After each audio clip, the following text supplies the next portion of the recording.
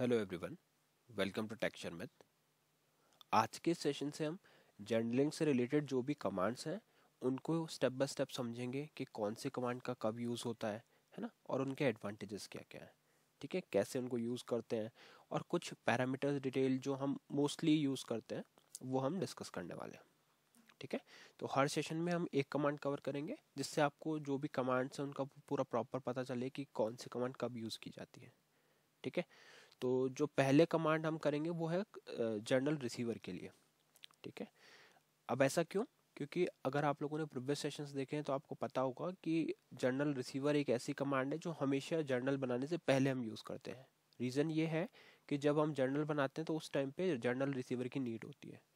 तो इसीलिए इसको हमने सीक्वेंस में पहले रखा है। सबसे पहले हम जर्नल रिसीवर के बारे में देखेंगे कि जर्नल रिसीवर पहले तो होता क्या है और फिर उसको कैसे यूज़ कर सकते हैं। ठीक है? तो जर्नल रिसीवर क्या है? इसको आप ऐसे कंसिडर कर सकते हो कि जर्नल रिसीवर एक ऐसा कंटेनर होता है जिसके अंदर जर्नलिंग की सारी एंट्रीज स्टोर होती है। ठीक है? तो ये क्या करेगा? सपोज़ आपने कोई भी फ़ाइल के ऊपर जर्नलिंग इम्प्लीमेंट की हुई है और उस फ़ाइल के ऊपर आप अब आ, हमने इनेबल करी हुई है जर्नलिंग ठीक है? तो उस केस में क्या होगा? जो भी जर्नलिंग की एंट्रीज होगी वो सारी इस आ, हमारे जर्नल रिसीवर के अंदर स्टोर होगी। ठीक है? फिर आप उस एंट्रीज को किसी फ़ाइल में ट्रैवल करवा सकते हो, या जैसा भी आपका रिक्वायरमेंट हो उस अकॉर्डिंग बट एक्चुअल जो आपकी जर्नलिंग की एंट्रीज होती है, वो रिसीवर में ही होती है। तो आप रिसीवर के लिए ऐसा डेफिनेशन दे सकते हो कि या तो आप कह सकते हो कि जनरल रिसीवर एक ऐसा फ़ाइल है, जहाँ पे सारे हमारे जो इंफॉर्मेशन है, जो जर्नलिंग के एंट्रीज है, वो स्टोर करता है। है ना? या आप कंटेनर वर्ड बोलोगे तो वो ज़्यादा स्पेसिफिक रहेगा कि journal journal receiver is a container which we use to hold the entries uh, created at the time of journaling. ठीक है? तो ये हमारा है जर्नल रिसीवर के बारे में। अब क्वेश्चन आता है कि जर्नल रिसीवर बनाएगा कैसे? क्योंकि हमारे को पता है कि हमें जर्नलिंग के लिए जर्नल रिसीवर की नीड है। तो जर्नल रिसीवर बनाने का एक बेस्ट वे ये है कि आपको यहाँ पे लिखना होगा C R T J R N R C B अब इस कमांड को आप अगर प्रॉपरली देखोगे तो यहाँ पे तीन तीन कैरेक्टर्स का कुछ कॉम्बिनेशन है। जैसे देखो सी का मीनिंग क्या होता है? क्रिएट फिर है हमारे पास J R N J R N का मीनिंग क्या हो गया? जर्नल आर सी का मीनिंग क्या होगा रिसीवर ठीक है? तो हम क्या कर रहे हैं? क्रिएट कर रहे हैं जर्नल रिसीवर अब किसी भी कमांड को आप डायरेक्टली यहाँ पे ऐसे एंटर हिट ना करके क्या कर सकते हो?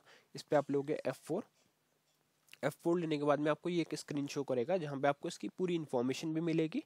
प्लस जो भी पैरामीटर आपको प्रोवाइड करना है, उसका एरिया यहाँ पे मिलेगा।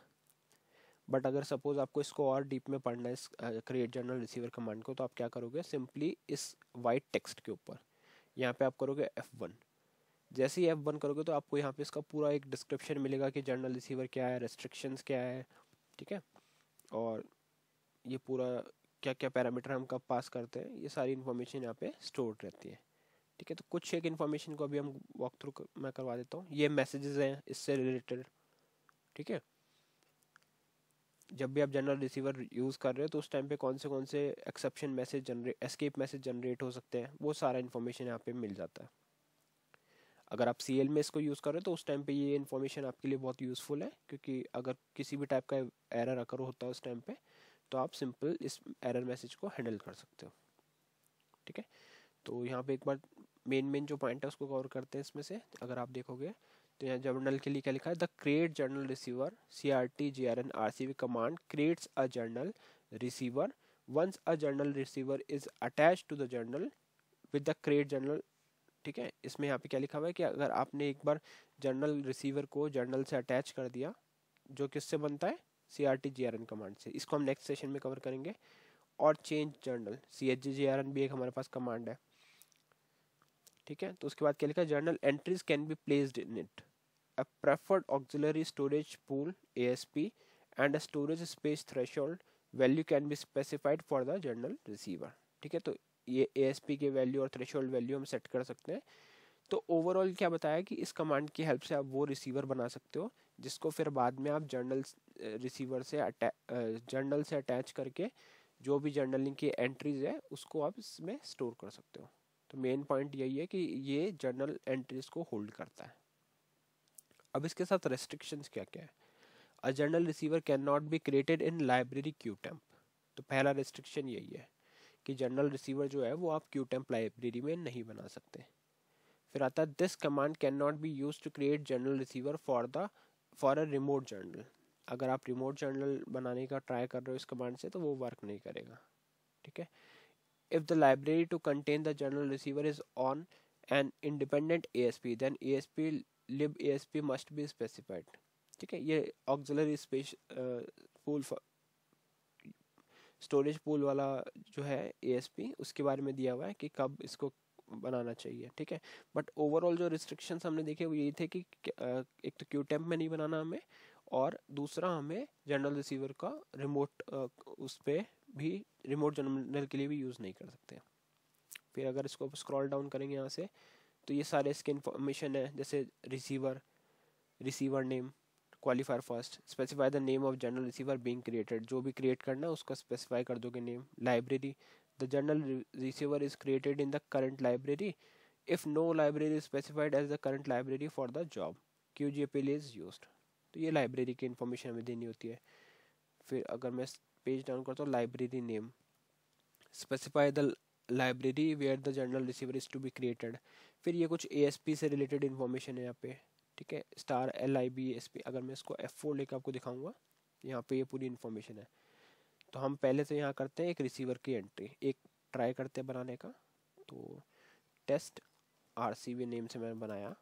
और यहाँ पे हम दे देंगे नेम आप कुछ भी रख सकते हो, फिर आपको देना होता है लाइब्रेरी तो ये आ गया लाइब्रेरी और पी इसको अगर आप एफ़ वन लेके इसके बारे में पढ़ सकते हो कि ए कब यूज़ क्या करना है। जैसे यहाँ लिखा है storage space for the general receiver is located from the same auxiliary storage pool as the storage space of the general receiver is library ठीक है?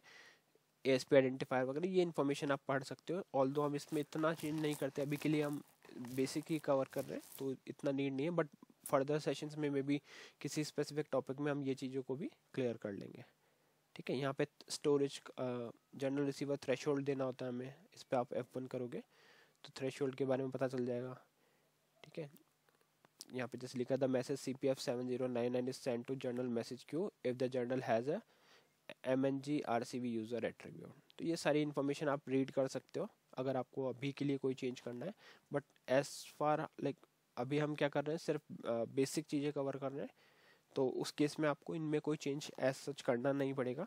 तो आप सिंपली बस अपना जनरल रिसीवर का नेम और लाइब्रेरी मेंशन कर सकते हो। फिर आता है टेक्स्ट यहाँ पे आप एक टेक्स्ट डाल सकते हो, जैसे sample G R N R C V अब ये नॉर्मली मतलब मैंडेटरी नहीं है, आपके ऊपर है बट मैं रिकमेंड करूँगा कि जब भी आप जनरल रिसीवर बना रहे हो तो उस केस में इसको वहाँ पर रखें टेक्स्ट को। इससे क्या है, फिर बाद में जब आप वर्क ऑब्जेक्ट करते हो या कोई भी ऐसी इंफॉर्मेशन अगर आपको चाहिए कि रिसीवर किस वजह से बनाया था तो वहाँ पे आपको ये टेक्स्ट मिल जाएगा। ठीक है? कुछ और ऑप्शंस भी रहते हैं, अगर हम यहाँ से F10 करेंगे तो ये मिलेगा आपको प्रेफर्ड स्टोरेज यूनिट इनके बारे में पढ़ने के लिए सिंपल आप एफ़ वन करोगे तो पूरी इन्फॉर्मेशन यहाँ मिल जाएगी, या फिर आई के ऑफिशियल वेबसाइट पे ये आपको रेफ़र कर देगा। फिर हमारे पास आता है अथॉरिटी अथॉरिटी में क्या है? एक्सक्लूड लाइब्रेरी अथॉरिटी ये सारे अथॉरिटी से रिलेटेड इन्फॉर्मेशन है। पेज डाउन करने पे और कोई फ़ील्ड नहीं है तो ये एक हमारा ओवरऑल स्ट्रक्चर है। तो मेनली हमने क्या क्या यहाँ पे स्पेसिफाई किया? रिसीवर का नेम शर्मित वन लाइब्रेरी जहाँ पे आपको उसको क्रिएट करना है, और एक टेक्स्ट हमने डाला sample J R N R C V अभी मैं एंटर करके देखता हूँ। जैसे मैंने एंटर किया तो यहाँ पे मैसेज क्या मिला? Journal receiver test R C V created in library Sharmit one ठीक है? अब क्वेश्चन आता है कि कैसे हम चेक करें कि क्रिएट हुआ? तो वर्क ओ बी जे और यहाँ पे आप लिख दोगे टेस्ट आर सी वी और फिर, ठीक है एफ़ फोर ले सकते हो। एफ़ फोर लेके यहाँ पे टेस्ट आर सी वी और लाइब्रेरी भी अगर चाहो तो दे सकते हो शर्मित वन में।